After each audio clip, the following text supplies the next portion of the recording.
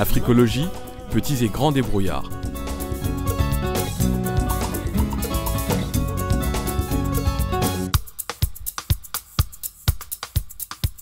À Africologie, Yves Parfait Kofi nous amène dans les bas-fonds de Cotonou pour témoigner des conditions de vie difficiles de certains de ses concitoyens.